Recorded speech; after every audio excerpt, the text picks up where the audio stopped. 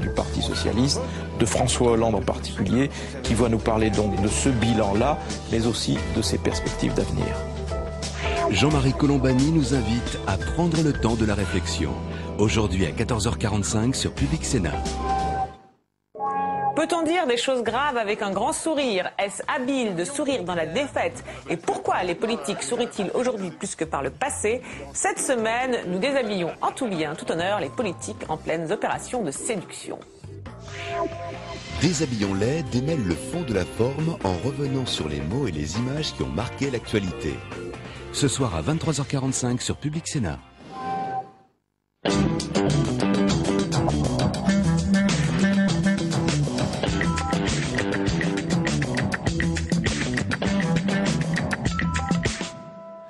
Bonjour, bienvenue à tous dans Parlement Hebdo, votre rendez-vous avec l'actualité politique et parlementaire. Bonjour Aude. Bonjour Emmanuel, bonjour à tous. À la une cette semaine, on voit ça en images. L'Europe sous haute tension. Trois morts en Grèce lors des grandes manifestations contre la cure d'austérité imposée à la population. La zone euro face au risque de contagion. Et la France qui annonce un gel sans précédent des dépenses de l'État. Le Grenelle a-t-il du plomb dans l'aile? Le texte du Grenelle 2 est arrivé cette semaine à l'Assemblée. Le le gouvernement est accusé de recul sur ses engagements avec les éoliennes au cœur de la polémique. Et puis le Royaume désuni. Les Britanniques ne sont pas parvenus à dégager une majorité pour gouverner leur pays. Malgré un score décevant, les libéraux démocrates, conduits par Nick Clegg, en position d'arbitre entre le sortant travailliste Gordon Brown et le conservateur David Cameron. Et avec nous pour commenter cette actualité, Robert Rochefort. Bonjour. Bonjour. Merci d'être avec nous pour cette émission. Vous êtes député européen, un député européen encore tout frais puisque ça date de juin 2009. Euh, après cette élection, vous avez quitté vos fonctions à la tête du CREDOC, le centre de recherche sur les conditions de vie, où vous avez travaillé quand même pendant plus de 20 ans. L'économiste et désormais spécialiste européen que vous êtes va évidemment nous aider à décrypter notamment la crise qui secoue l'Europe. Vous êtes membre du MoDem où vous avez pris du galon depuis les élections régionales puisque vous en êtes, euh, vous êtes devenu l'un des vice-présidents de ce parti. En tant qu'économiste, vous travaillez de près sur le régime de retraite euh, pour euh, réfléchir aux propositions du MoDem avec François Bayrou. Alors une question peut-être avant de, commencer euh, dans, le vif du sujet. Est-ce qu'après le désastre euh, des régionales pour le Modem, vous n'avez pas eu, euh, comme Corinne Lepage, la tentation du départ Départ de quoi? D'où? Non, je fais partie. comme vous l'avez dit, j'ai mis un peu de temps avant de m'engager en politique. Mmh. Euh, je l'ai donc pas fait à la légère. Je l'ai fait dans la famille politique qui correspond à, à, ma sensibilité personnelle, qui est effectivement celle de la démocratie chrétienne et, du centre, pour faire simple, même si au Modem, il y a des gens qui proviennent d'autres types de sensibilités, notamment écologistes, mais euh, je m'y sens bien, et ce qui est d'abord important pour moi, c'est d'être euh, en accord euh, profondément avec ce que je porte comme valeur, et je pense que cette famille politique continue à exprimer cela, et donc je suis très bien. Même si j'aimerais évidemment que nous fassions des scores un peu meilleurs. Ouais, malgré, euh, vous avez même parlé d'une certaine cacophonie dans le dans l'organisation du parti. Euh, bah, écoutez, c'est clair qu'on a fait des erreurs. Si on n'avait pas fait des erreurs, euh, on, on serait certainement pas au, résultat qu'on a eu. Oui, on a probablement été un peu un mélange, j'allais dire, de de ce courant euh, centriste très ancien, hein, avec la déclaration de Robert Schuman. Euh, hmm. que, le problème, c'est quand vous dites on, c'est François oui, parce que le modem, c'est d'abord je voulais dire, je voulais dire entre entre la tradition et puis peut-être cette logique un peu de PSU du centre qu'on était depuis un ou deux ans avec des gens qui sont venus et qui ont voulu avoir une sorte de, de, créativité permanente. On n'a peut-être pas assez organisé les choses. Pourquoi vous dites c'est François Bayrou? Non, c'est l'ensemble des, des responsables du mouvement démocrate. En tout cas, le, modem s'est construit autour de François Bayrou, évidemment. C'est lui qui a, choisi de créer ce mouvement. Et, c'est clair qu'il n'aurait pas de sens sans lui. Allez, on va dérouler maintenant l'actualité de la semaine avec lundi l'Assemblée nationale qui se penche au chevet de la Grèce.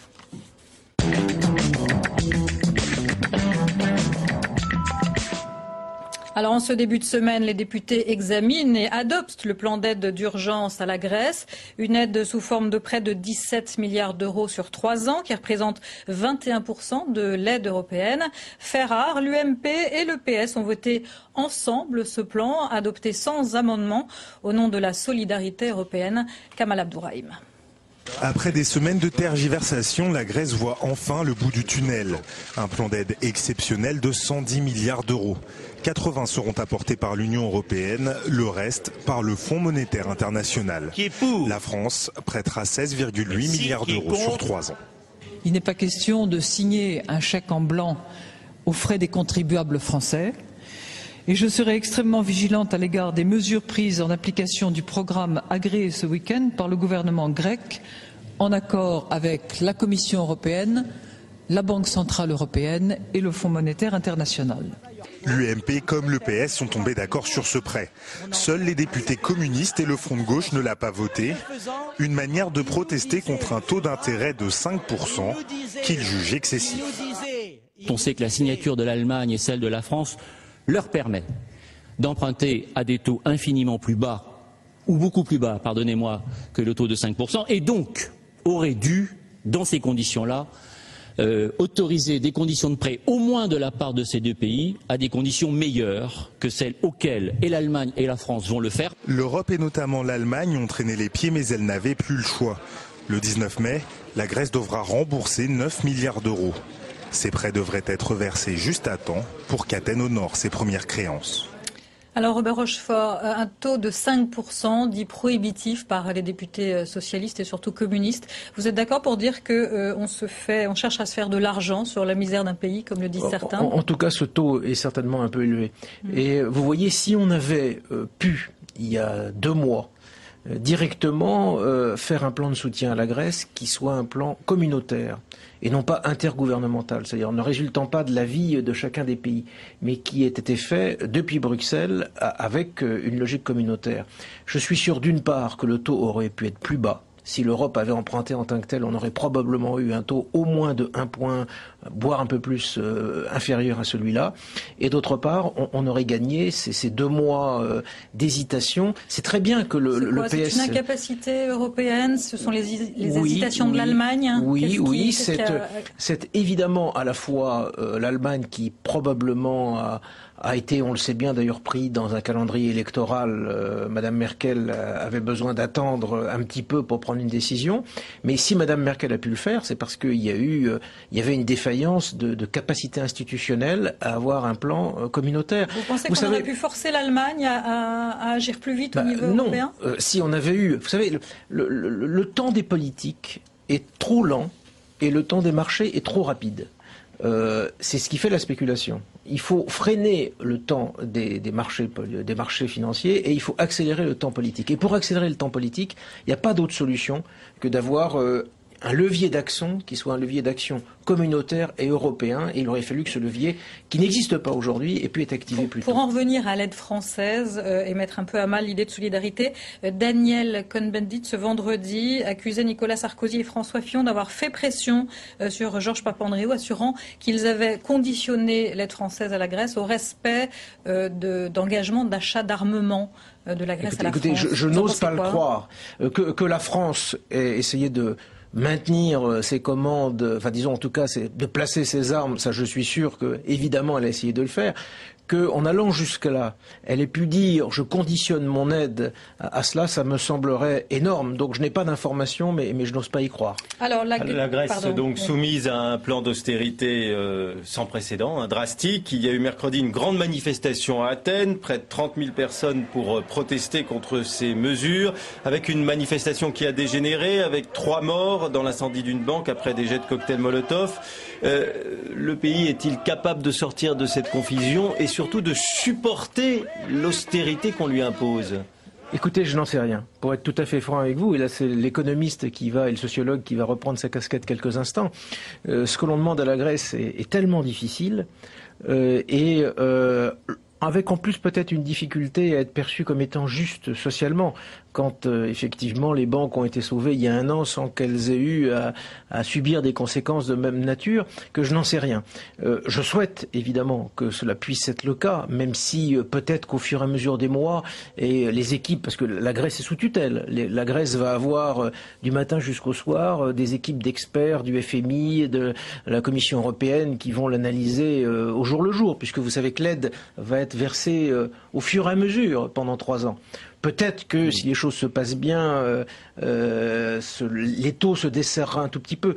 Mais sur le fond, euh, ce qui est assez difficile à comprendre dans, cette crise, c'est que ceux qui disent euh, d'une certaine façon, il n'y aurait rien à faire quant aux réformes structurelles, parce que ce n'est qu'une affaire de spéculation des marchés, ont évidemment tort. Il faut cesser la, la, spéculation sur les marchés, mais il faut effectivement des réformes structurelles. Parce que la Grèce était mal gérée. Bien entendu. Et à l'inverse, ceux qui diraient il faut que des réformes structurelles euh, auraient tort également. Il faut que les marchés arrêtent. Et vous avez vu que dans les jours qu'on suivi, les marchés ont ensuite spéculé contre l'Espagne d'une façon générale. Justement, est-ce qu'il y a un risque de contagion à ces pays, l'Espagne et le Portugal? Il y a un risque structurel dans beaucoup de pays euh, de la zone euro, y compris en France, parce que nos déficits publics, notre dette publique est absolument considérable, que nous avons effectivement pris du retard dans la modernisation de nos économies. De là à dire que la situation est de même gravité qu'en Grèce, évidemment la réponse est non.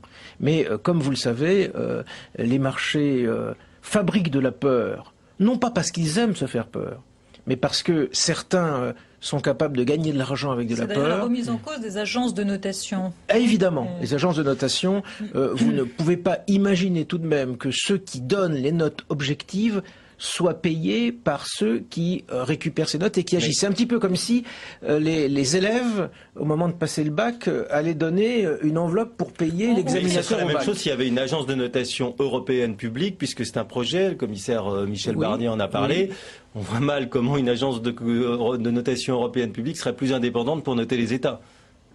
Oui, mais en l'occurrence, euh, ce qui est en cause là, c'est pas uniquement les États, c'est l'ensemble des éléments de spéculation. Ce qui s'est passé sur les bourses en particulier, c'est pas la dette des États qui a été euh, malmenée, c'est l'ensemble des actions de la place d'Athènes ou d'ailleurs. Je tiens à dire d'ailleurs que moi j'ai tout à fait approuvé la mesure qui a été prise par l'autorité des marchés d'Athènes et j'aurais, mais d'ailleurs, souhaité que peut-être dans la situation actuelle, ce soit élargi à l'ensemble des marchés en Europe, qui est d'interdire ce qu'on appelle euh, la vente à découvert, c'est-à-dire d'empêcher que l'on puisse acheter ou vendre euh, des produits, même des produits dérivés, comme on dit, que l'on ne possède pas. Alors vous savez qu'on spécule évidemment sur les entreprises, on spécule aussi, comme vous l'avez dit, sur les obligations des différents pays, et ça c'est tout à fait insupportable. Vous pensez qu'on va retenir les leçons de tout ça?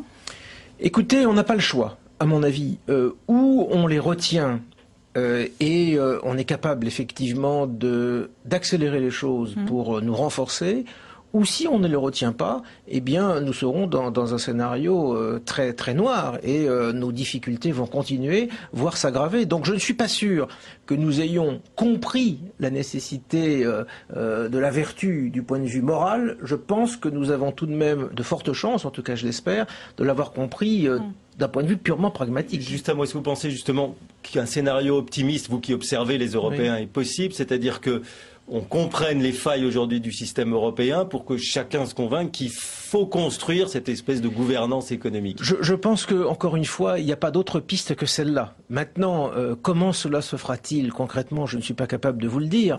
Mais euh, vous parlez d'un scénario optimiste. Euh, je corrigerai simplement votre optimisme en parlant de scénario optimiste, parce que, soyons clairs, la Grèce est, est aujourd'hui devant des difficultés énormes, et sa population se rappellera, vous savez, pendant, pendant des générations, ce qui est en train de se faire va marquer les esprits dans 50 ans ou dans 60 ans. Les, enfants et les petits-enfants de ceux qui sont actifs aujourd'hui se rappelleront de cet événement-là, qui aura modifié le cours de l'histoire de la Grèce. Mais soyons clairs, euh, tous les pays d'Europe vont devoir faire des gestions extrêmement rigoureuses et difficiles. Donc ce que vous appelez un scénario optimiste, c'est quand même de toute façon une mise devant nos responsabilités qui exigera beaucoup d'efforts. Et on en reparlera. Dans la justice sociale, parce que c'est ça la question. En France, on en reparlera.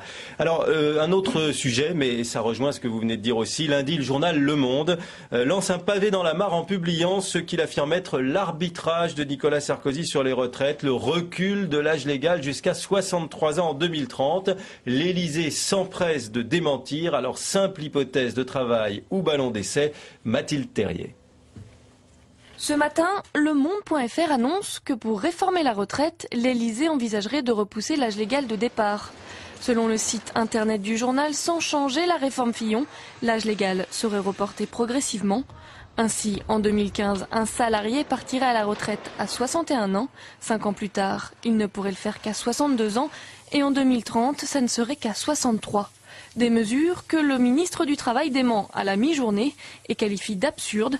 Pourtant, hier, Eric Woerth n'avait pas le même discours. Il faut reculer l'âge de la retraite, en fait. Il faut en tout cas qu'il y ait des mesures d'âge, parce que s'il n'y a pas de mesure d'âge, vous passez à côté d'une réforme qui est celle de notre système par répartition. On tient un système par répartition. Et le système par répartition, c'est au fond euh, de, la enfin, de la solidarité entre les générations. Au Parti socialiste ce matin, les réactions ne tardent pas. Benoît Hamon demande une réflexion plus large. Nous nous disons aujourd'hui qu'une vraie réforme des retraites, c'est une réforme qui s'attaque à l'ensemble de la problématique, le taux d'emploi, des jeunes comme des seniors, les conditions du financement, la stratégie de croissance, la stratégie d'emploi. Sur ces sujets-là, il n'y a aucune réforme du gouvernement qui a décidé de passer euh, en force. Ça illustre combien cette concertation est un simulacre de concertation. Deux jours seulement après la faible mobilisation des manifestations du 1er mai, cette rumeur pourrait être un moyen pour le gouvernement de sonder l'opinion publique. En attendant, l'opposition a déjà répondu non avec un meeting commun de toute la gauche contre la réforme des retraites jeudi. Alors il y a quelques années, Robert Rochefort, vous aviez publié un livre qui s'intitulait La retraite à 70 ans. Il y avait un point d'interrogation. On y va? Écoutez, euh, je crois que si on se projette dans 40 ans, il est clair qu'on euh, travaillera au-delà de 60 ans.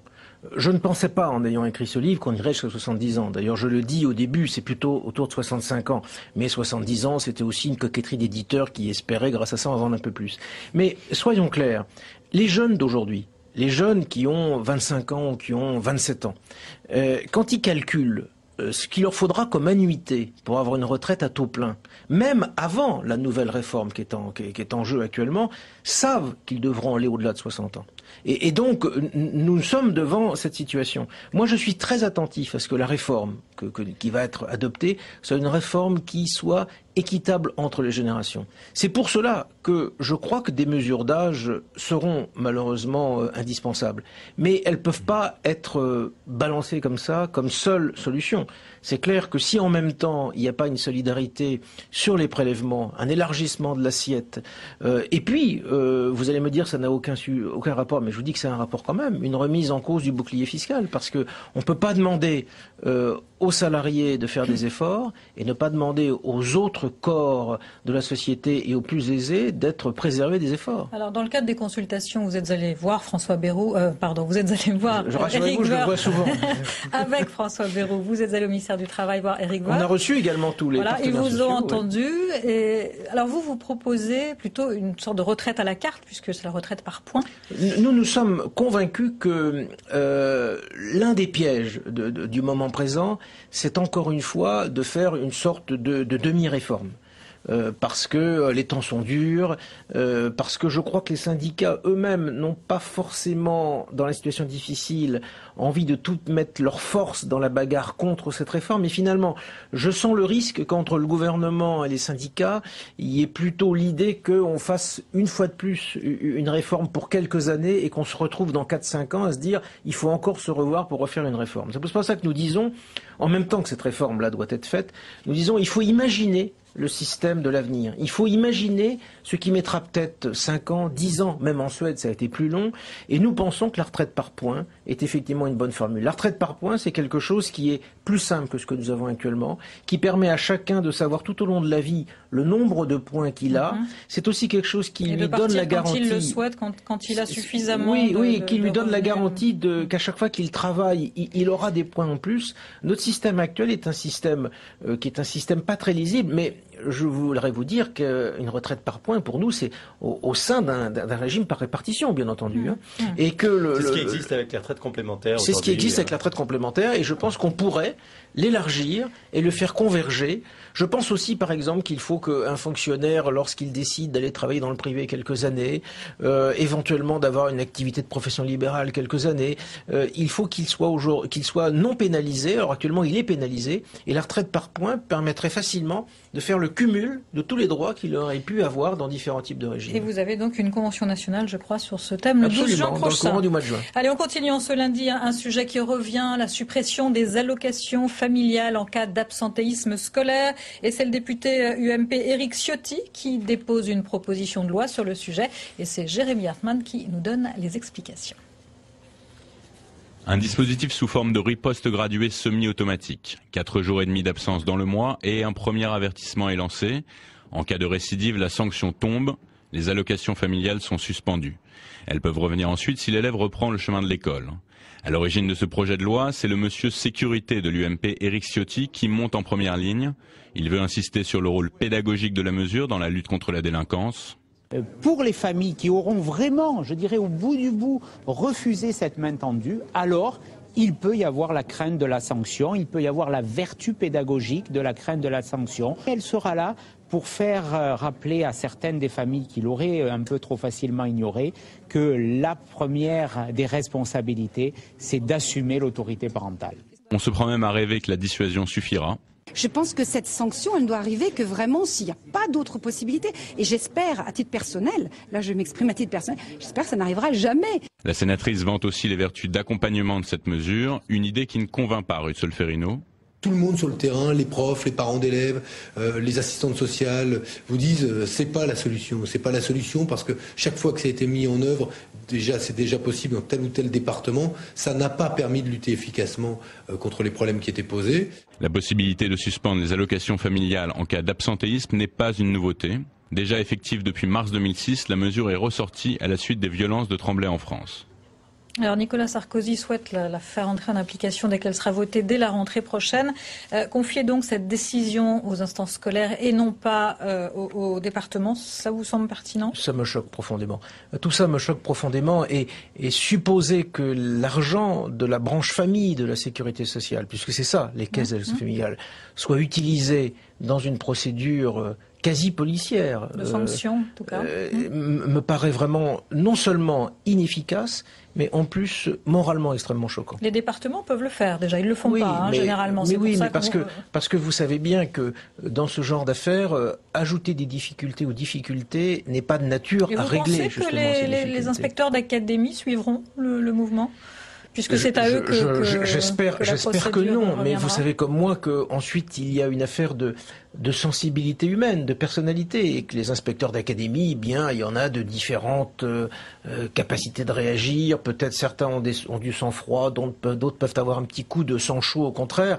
Donc je n'exclus pas qu'il puisse y avoir euh, une ou deux j'allais dire bavure, je mets entre guillemets, puisque ce ne serait pas des bavures, puisque c'est autorisé. Mais euh, euh, j'aurais vraiment, je trouve qu'on se qu'on se glorifie pas, qu'on s'honorifie pas en faisant ça, et c'est encore une fois probablement une petite mesure cherchée qui, qui cherche à, ratisser des voix, et c'est vraiment pas très bien. On passe maintenant à la journée de mardi, la bataille des éoliennes.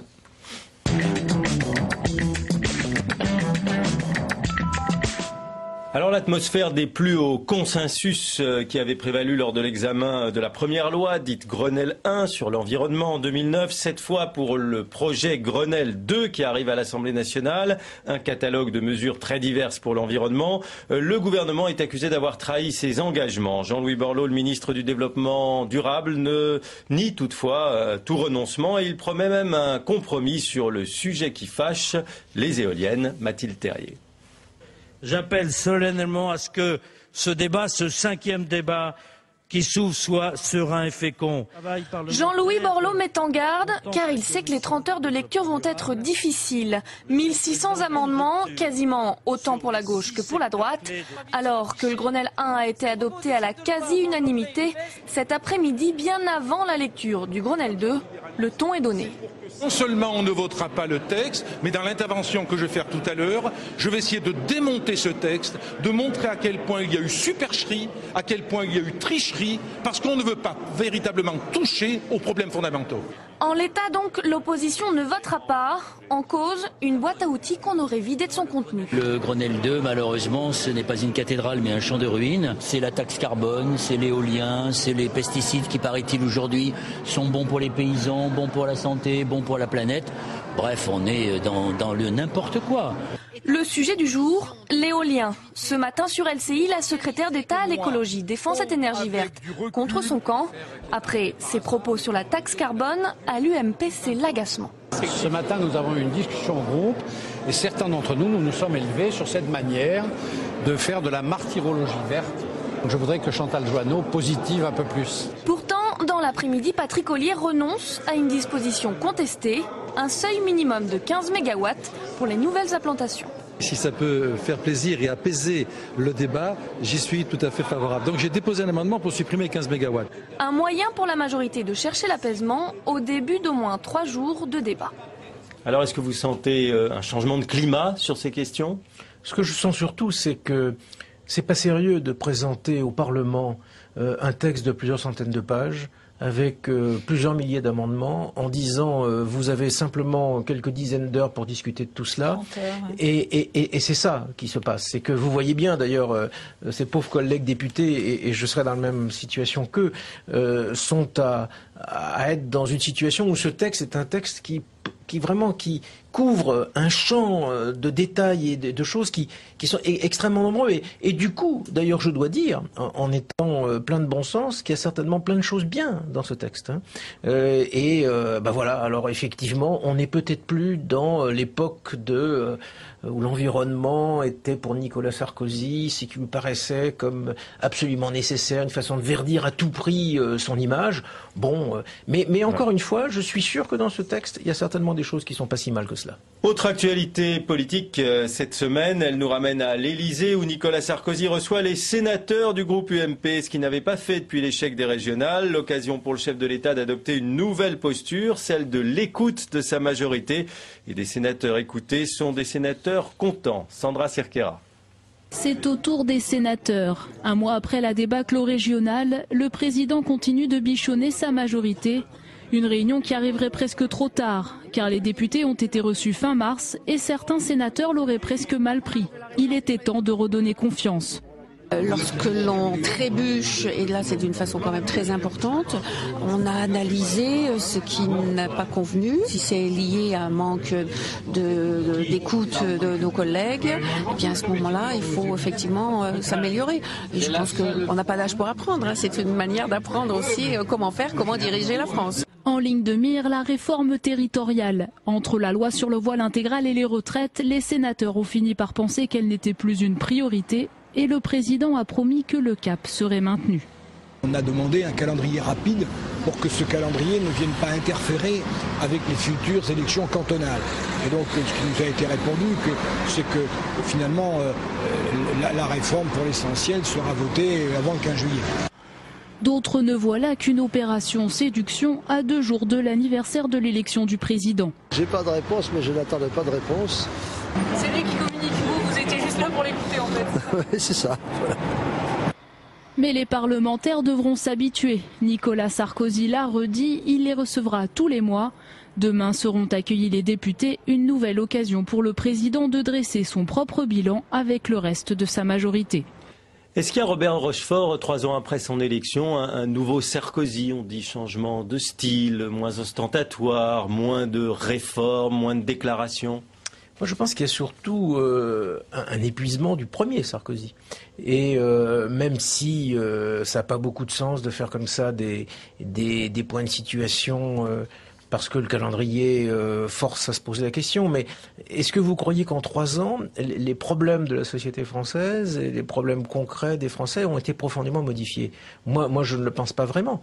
Euh, finalement, Nicolas Sarkozy a son grand message, c'était de dire je vais réconcilier les Français avec l'argent puisque je vais leur dire qu'il n'y a pas de honte à être riche, et je vais leur dire qu'ils vont pouvoir gagner euh, plus en travaillant plus. Et, les Français y ont cru d'une certaine façon. Et puis euh, le, gouvernement dit que c'est la crise qui a empêché oui, mais ces mesures. alors il y a évidemment la crise, on ne va mm. pas le nier. Euh, il y a par ailleurs le fait dès le départ que on a bien vu que finalement la crise des classes moyennes aujourd'hui, euh, le besoin de créer des activités nouvelles, c'était quelque chose de bien plus compliqué que quelques formules et quelques slogans euh, résultant d'une campagne électorale. Et voilà, on, en est là. Et puis, euh, vous, on l'a vu sur l'histoire du Grenelle de l'environnement. Je pense que le président de la République a, fait beaucoup, beaucoup de, projets de réforme qu'il a beaucoup atténués au fur et à mesure des discussions, en bon politique. Il a débloqué des choses dans la société française, vous qui vous intéressez à la consommation, sur euh, les lois sur le commerce, le dimanche. Oui, mais, mais je ne suis pas sûr que ce soit des choses dont on avait vraiment fondamentalement besoin. Je ne suis pas sûr qu'on avait besoin de plus euh, de grandes surfaces alors que les petits commerçants sont en de grandes difficultés. Je ne suis pas sûr qu'on ait besoin que les boutiques soient ouvertes le, dimanche quand le problème numéro un, c'est le problème du pouvoir d'achat et, et, que la crise est effectivement venue euh, confirmer le ralentissement du pouvoir d'achat. Donc, ben voilà, on revient peut-être à une forme politique plus traditionnelle, avec un président euh, moins exposé euh, du matin jusqu'au soir. Mais la vraie question fondamentale, est-ce qu'en trois ans, on a réglé beaucoup de problèmes? Je n'en suis pas convaincu. Alors, mercredi encore, ce sont les députés euh, qui étaient reçus à leur tour à l'Élysée. Deuxième fois depuis la défaite au régional, avec une ambiance beaucoup plus détendue, on l'a encore. Il leur a dit qu'il voulait boucler ces dernières réformes d'ici mi-2011 avant de ne plus faire que de la politique. Une petite phrase, bien sûr, euh, qui a été reprise. Qu'est-ce qu'il faut comprendre euh, Qu'il se représente en, 2012, Robert Rochefort? Écoutez, je ne suis pas à sa place. Euh, je ne vois pas comment, quand on est, comment dire, dans la situation où il est, je ne vois pas comment on n'est pas tenté malgré tout d'y aller, parce que soit on est favori et euh, dans ces cas-là, ça paraît gagner d'avance, ce qui probablement d'ailleurs est la situation la plus dangereuse, on le sait bien. Soit euh, les choses sont pas gagnées dès le départ et euh, ben on a envie justement de démontrer qu'on va pas rester sur une sorte de, de semblant d'échec, on veut reconquérir l'opinion. Donc il me semble que le plus vraisemblable, c'est qu'il sera candidat. D'après l'Express, François Bayrou a été discrètement reçu par Nicolas Sarkozy. Il serait passé le 22 avril. Est-ce que Nicolas Sarkozy cherche à récupérer le modem? Écoutez, je, n'en sais rien. Il faut, euh, mais en tout cas, ce que je peux vous dire, il a dit qu'il s'était trompé de stratégie depuis plusieurs années. Ce que je peux vous dire, c'est que François Bayrou euh, a l'habitude de rencontrer euh, les grands dirigeants politiques de, tous les camps, et le président de la République est évidemment un personnage est fonction et parce qu'il représente politiquement qu'il faut rencontrer. Et nous, ne sommes pas du tout pour être dans l'isolement. François Bayrou de, de rencontre avec Nicolas Sarkozy? Non, c'est pas ça le sujet. Le, sujet, c'est euh, euh, qu'est-ce que vous voudriez interpréter de. Donc moi, moi, je ne sais pas. Euh, je, pense que c'est probable, mais je ne sais pas formellement si c'est vrai qu'ils se sont rencontrés. Et je ne sais pas ce qu'ils se sont dit. Et puis, vous savez, même des fois dans la vie, on peut se téléphoner sans, se rencontrer, et vous ne le savez pas forcément, et vous n'en parlez pas. Donc tout ceci n'est pas n'est pas un événement en soi. C'est une démocratie qui, quand même, de temps en temps, Il n'y aura pas de retour de Bayrou dans le giron sarkozyste. Ah, ça me paraît peu, peu probable. Allez, on passe à la journée du mercredi et la tentation à droite de modifier le mode de scrutin.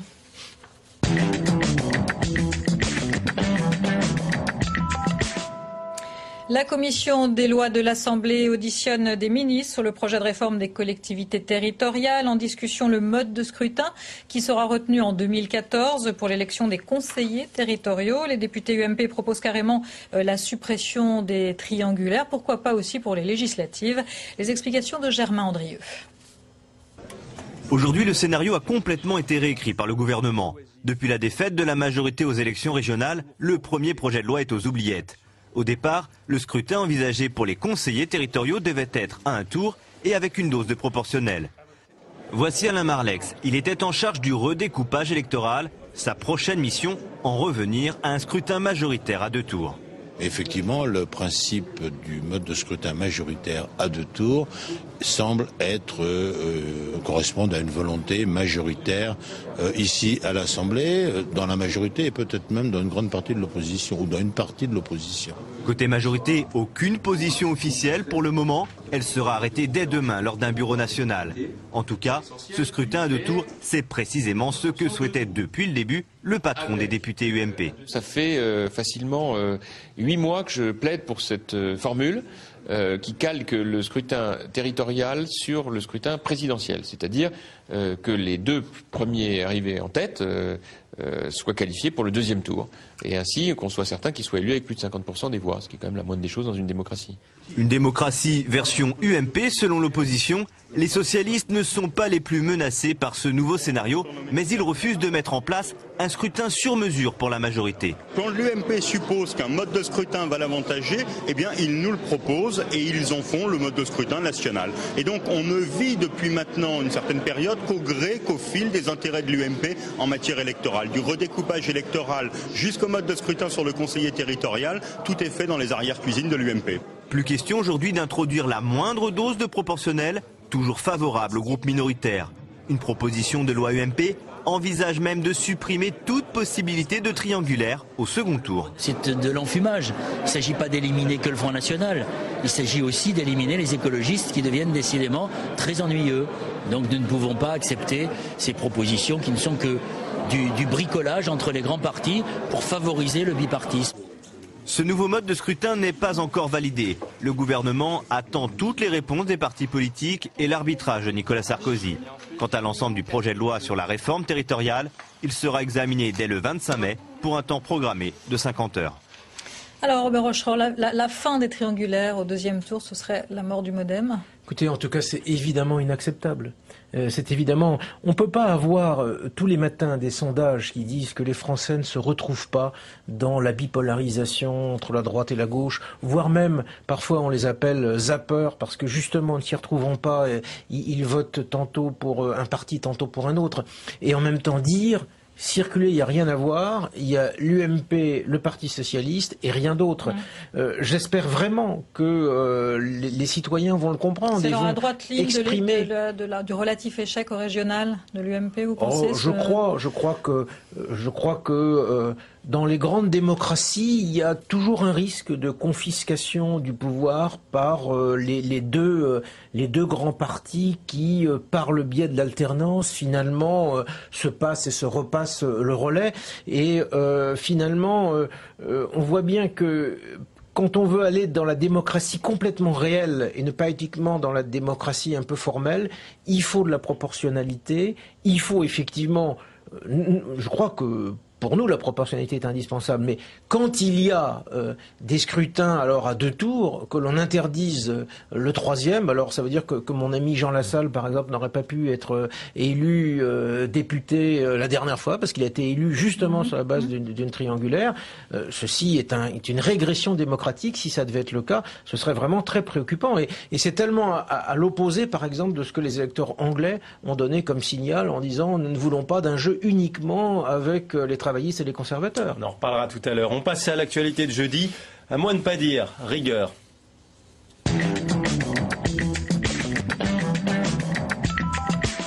L'État va donc se serrer la ceinture et tous les Français avec. La crise grecque pousse le gouvernement à presser le pas pour réduire la dette et le déficit. À l'issue d'un séminaire gouvernemental, François Fillon annonce une baisse du pouvoir d'achat de l'État puisque les dépenses publiques vont être strictement gelées pendant les trois ans à venir. Il ne sera même pas tenu compte de l'inflation. Le porte-parole du gouvernement, Luc Châtel, affirme que tous les Français seront touchés en excluant une augmentation massive des impôts. François Barouin a été encore plus net cet après-midi au Sénat. On écoute le ministre du Budget. C'était donc jeudi après-midi et la réponse de la socialiste Nicole Brick. La rigueur, monsieur le sénateur, c'est l'augmentation des impôts il n'y aura pas d'augmentation des impôts. Nous avons l'un des, points les plus élevés en matière de prélèvements obligatoires et avec ce niveau-là, il n'est pas question une seconde d'augmenter les prélèvements obligatoires. Ce qui veut dire en effet un effort de deux points de réduction des déficits pour l'année prochaine, ce qui veut dire un effort sur les dépenses fiscales et non pas les niches fiscales d'à hauteur de 5 milliards sur les deux années qui viennent, ce qui veut dire en effet des efforts puissants sur les trois sources de dépenses collectives que sont les dépenses de l'État, les dépenses sociales et les dépenses avec les collectivités locales. Ce n'est pas vraiment une surprise à partir du moment où euh, l'État euh, ne s'occupe que de dépenses et pas des recettes fiscales. Je ne suis pas très étonnée, mais ce que je trouve ennuyeux, c'est que dans la tourmente que vit l'Europe, on se sert de cette crise de l'euro et de l'Europe face au marché on s'en sert euh, pour annoncer euh, un plan de rigueur. Alors, plan de rigueur, François Fillon le nie encore en fin de semaine. Est-ce que le mot est à vous? Ce qui est important, c'est n'est pas les mots, c'est même s'il n'y avait pas eu la crise grecque, moi je vous dis qu'on aurait augmenté les prélèvements et je vous dis qu'on va augmenter les prélèvements. Si ce n'est pas cette année, ce sera l'année prochaine parce qu'il y a le déficit de la sécurité sociale, de l'assurance maladie. Alors je veux bien que si on augmente un peu la CSG, euh, le ministre du budget dise on n'augmente pas les impôts, mais la CSG est quand même une forme d'imposition. Il a exclu d'augmenter la CSG. Vous verrez, vous verrez. Euh, ici, c'est pas la CSG, ce sera la CS2G parce qu'on inventera une cotisation un peu différente. Bon, quand on réduit les niches fiscales, on augmente les impôts, même si je pense que certaines niches fiscales doivent être effectivement réduites. Non, ce que je crois, c'est que ce qui ne va pas dans la méthode, c'est la même chose d'ailleurs que ce qui avait été décidé avec le non-remplacement d'un fonctionnaire sur deux partant à la retraite. C'est, on a le sentiment que on coupe les dépenses et après, on, se débrouille pour savoir comment on, fait le job. Non, ce qu'il faudrait dans une démocratie responsable, c'est qu'on dise voilà quelles sont les priorités, voilà quels sont les, domaines sur lesquels l'État doit continuer à avoir une action très très forte, et voilà les domaines sur lesquels l'État doit peut-être faire des économies. Et après, on adapte en conséquence. Mais là, cette façon de dire, comment dire, on, on, bloque, voilà, on bloque. Débrouillez-vous. De toute façon, tous les ministères vont se retrouver. Est-ce que la crise grecque était un prétexte pour faire ça? Je crois que le gouvernement et beaucoup de gens au gouvernement savaient qu'ils avaient à, passer dans un discours euh, qui mettait effectivement devant les responsabilités budgétaires. Je crois qu'ils ne savaient pas comment s'y prendre. Je crois qu'effectivement, euh, ce qui se passe aujourd'hui en, Grèce euh, rend, rend cela peut-être plus, plus, plus facile. C'est vrai aussi pour les retraites. Et d'une certaine façon, on le comprend parce que comment pouvons-nous, nous, les Français, les Allemands, euh, dire aux Grecs, vous savez, vous allez devoir fortement vous serrer la ceinture. On leur dit, par exemple, qu'ils vont devoir partir plus tard à la retraite, qu'ils vont perdre leur 13e mois, leur 14e mois. Payer plus de TVA. Et payer plus de TVA. Et nous, d'une certaine façon, dire, bah, nous, euh, nous, tout va très bien, on n'a on pas d'efforts à faire. Non, nous avons des efforts à faire, mais encore une fois, c'est mettre la charrue avant les bœufs que de décider au départ du montant des économies et de se dire, euh, on va voir comment on les répartit. il est politiquement évidemment plus facile de dire qu'on gèle les dépenses qu'on augmente les impôts. Mais je vous dis qu'on va faire les deux. Je veux dire, alors, on, va, le faire sans le dire. On va le faire sans le dire.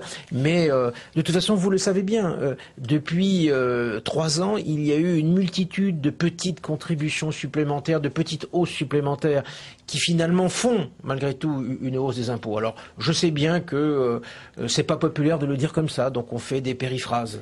Allez, on termine le vendredi, bien sûr, avec le brouillard politique en Grande-Bretagne après les élections.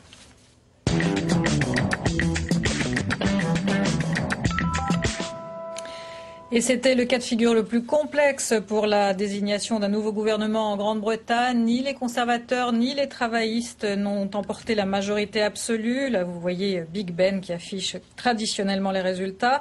Les libéraux démocrates n'ont pas fait euh, la percée qu'ils espéraient. Une grande incertitude donc en ce vendredi. Personne ne saura qui euh, sera Premier ministre ni quelles alliances vont se former. Germain Andrieux. Depuis ce matin, c'est officiel, la situation politique de l'Angleterre est celle d'un Parlement dit suspendu. Alliances et négociations sont désormais inévitables. Tous les regards se tournent vers Nick Clegg, le troisième homme et l'arbitre de cette élection. Ceci s'adresse à tous les partis politiques. Je ne pense pas que quiconque devrait se précipiter à faire des déclarations ou à prendre des décisions qui ne résisteront pas au test du temps. Je pense qu'il serait préférable que tout le monde prenne un peu de temps pour que les gens obtiennent le bon gouvernement qu'ils méritent en ces temps très difficiles et incertains. Privé de majorité absolue, le chef du gouvernement travailliste n'a plus le choix. Gordon Brown espère encore trouver un accord avec le Parti libéral-démocrate pour obtenir plus de sièges que les conservateurs. Mon devoir envers le pays après ces élections est de jouer mon rôle pour que la Grande-Bretagne ait un gouvernement fort, stable et moral. Arrivé en tête, David Cameron n'obtient pas non plus de majorité absolue pour former son gouvernement, mais pourrait s'allier avec de petits partis. En attendant, il demande aux travaillistes de quitter le gouvernement. Nous devons attendre les résultats complets pour nous prononcer, mais je crois qu'il est déjà clair que le gouvernement Labour n'a plus l'autorité pour gouverner notre pays. Les tractations s'annoncent longues et difficiles. Une seule certitude, si aucune alliance n'est formée, Gordon Brown n'aura pas d'autre choix que celui de démissionner. Alors les libéraux démocrates, contrairement aux attentes, n'ont pas réussi à vraiment s'imposer. Ils reculent même en siège. Euh, ils sont quand même, ils sont quand même incontournables pour une alliance. Est-ce que pour un parti comme le MoDem, par exemple, c'est une sorte de rêve, ces partis arbitres qui font et défont finalement les majorités? D'abord, ce sont nos amis. Euh, les, les, les, députés européens euh, libéraux démocrates ce sont, sont, mes collègues. Nous siégeons dans le même groupe. Entre Nick Clegg et François Bayrou, il y a des rapports réguliers d'amitié. Vous savez, la, la réalité, c'est quoi? La réalité, c'est que le peuple britannique avait envie de faire quelque chose de différent, ne se retrouvait pas, comment dire, avec ces, ces deux grands partis, et en même temps a eu peur de ce qu'on lui dit d'ailleurs depuis ce matin, qui est c'est un drame en Angleterre, l'Angleterre n'est plus gouvernable, ce qui évidemment n'est pas vrai. Euh, il y a un espace de liberté qui s'ouvre. Cet espace de liberté va modifier un peu le jeu politique. J'espère qu'il sera possible de trouver une solution innovante. D'ailleurs, vous savez bien que euh, Nick Clegg dit que l'une des premières mesures, ce sera de modifier le mode de scrutin pour que, euh, vous savez, en fait, c'est un peu comme le mouvement démocrate en France. Euh, ils ont peu d'élus parce que le mode de scrutin leur est fortement défavorable. Non pas parce qu'ils n'ont pas fait beaucoup de voix. Ils sont bah, arrivés troisième avec beaucoup de voix. Ils vont quand même avoir un rôle d'arbitre très important. Oui, bah, et alors c'est ce qu'il faut. Et je vous signale qu'au Parlement européen, euh, euh, ni euh, le, le, le, parti de droite, ni le parti socialiste n'ont la majorité eux tout seuls. Et nous passons notre que temps le à chercher ne peut à travailler pas vraiment s'imposer Hein Non, je, je, dis crois. ça par non, rapport je, je à, crois, la présidentielle je, oui, de 2012. Non, J'entends bien ce que vous dites. Non, c'est deux éléments. D'abord, le centre n'est pas une troisième voie qui exclut les deux. C'est euh, quelque chose qui consiste à rechercher, à travailler avec ceux qui sont euh, pleins de bonne volonté et qui sont, je dirais, les modérés de chacun des camps. Et donc c'est évidemment des, des, des, alliances à construire à chaque fois. Et puis c'est effectivement quelque chose qui ne peut exister et, et auquel les, les, électeurs font confiance que quand il y a un jeu politique qui permet qu'ils aient une place. Quand les jeux politiques les, les écrasent, bah, par définition, vous les voyez pas très forts au résultat final. Robert Rochefort, il faut qu'on se quitte là, malheureusement. Merci beaucoup d'avoir été avec nous Merci. sur ce plateau. Et quant à nous, Emmanuel, on, on se, retrouve, retrouve la semaine prochaine, même lieu, même heure.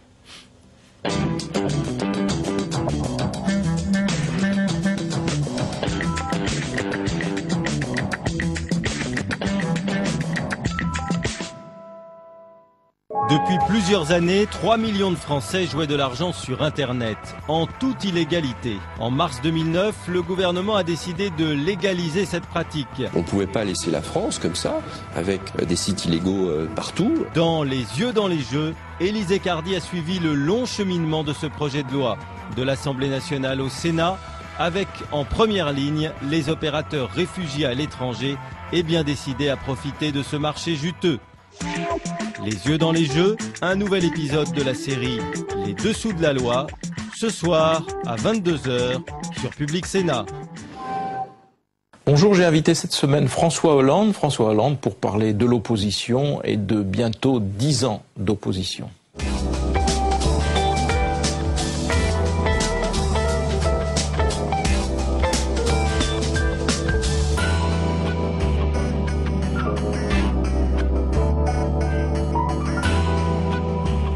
François Hollande, bonjour. Bonjour. Merci d'être avec nous. Public Sénat fête ses 10 ans. Et pour marquer ces 10 ans, je me suis dit, ben, je vais inviter François Hollande qui sera bientôt, après 10 ans d'opposition, bientôt, c'est-à-dire en 2012. Car en 2012, voilà, la gauche aura quitté le pouvoir depuis 10 ans, puisque tout s'est arrêté en 2002. Alors on ne va pas parler que du passé avec vous, bien sûr. On va parler aussi de ce qui est devant la gauche, devant le Parti socialiste, devant vous-même aussi éventuellement. Mais on va quand même revenir sur cette période de 2002 où les choses se cassent avec ce fameux choc terrible de l'absence de la gauche au deuxième tour de l'élection présidentielle et où on a eu l'impression pendant tant et tant d'années, peut-être êtes-vous en train d'en sortir, on va le voir, euh, que ce traumatisme-là avait plombé pour longtemps euh, le Parti socialiste et, et donc vous-même aussi qui étiez à la tête du Parti socialiste. Dix ans, euh, dix ans ça suffit. dix ans le compte est bon, mais en même temps euh, faisons le, le, compte à rebours. Tout commence en effet en, en 2002. Une élection